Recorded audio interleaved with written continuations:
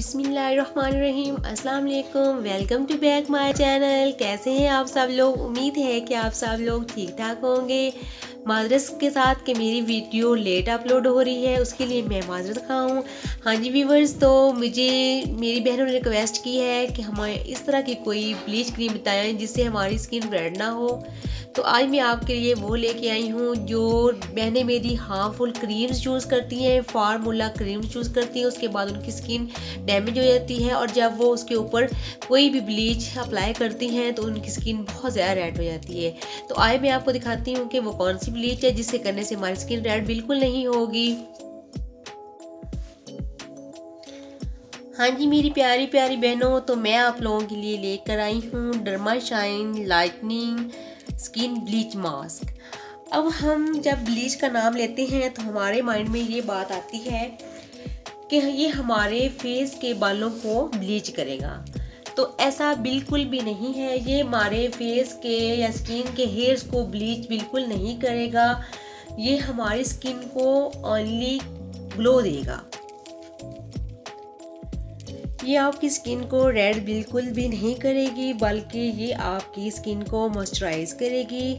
आप इसको twice a week apply कर सकते हैं। ये ब्लैक हेड्स रिमूव करने में भी हमारी हेल्प करती है।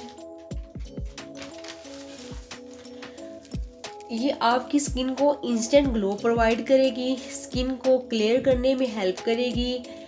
अब हम इसको हफ़्ते में दो दफ़ा इसको अपनी स्किन पे अप्लाई करेंगे। मैं आपको बताती हूँ कि इसके अंदर क्या क्या है। हाँ जी मेरी प्यारी प्यारी बहनों Derma Shine bleach mask is added with natural complexion brightening ingredients vitamin C and L E along with botanical extracts to help reducing dark spots and uneven skin tones. It is also suitable for all skin types. हाँ जी तो अब आपको समझ लग गई होगी कि ये क्या है, ये स्किन ब्लीच मास्क है अब मैं आपको इसको अप्लाई करके दिखाती हूँ कि ये किस तरह से अप्लाई करना है हमने इस तरह से इसको लेना है और ये देखें वी विल अप्लाई नाउ आपने अपनी स्किन के ऊपर एक मास्क की तरह इसको अप्लाई कर लेना है। और आपने इसको 20 मिनट्स के लिए छोड़ देना है।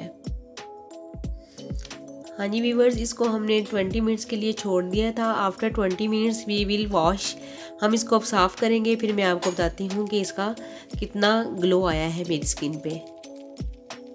हाँ जी वीवर्स इसको मैं अब आपके सामने रिमूव करूँगी और हम देखते हैं आफ्टर ट्वेंटी मिनट्स इसका क्या रिज़ल्ट आया है। मैंने आपको पहले बताया है, ये हमारे हेयर्स को ब्लीच नहीं करेगा, बस ये स्किन को ग्लो ही देगा।